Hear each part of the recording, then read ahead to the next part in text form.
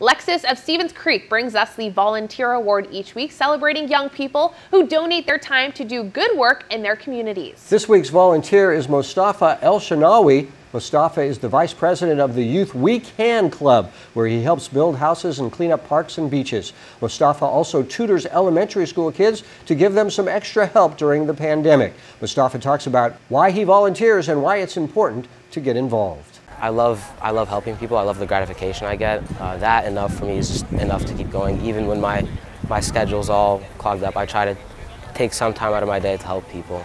Um, it just, it makes me happy. I think you just, you want to treat people how you want to be treated and I just, if you help everyone, they're going to help you back. I believe in good karma is going to happen to you and that's, that's just how I've been living life.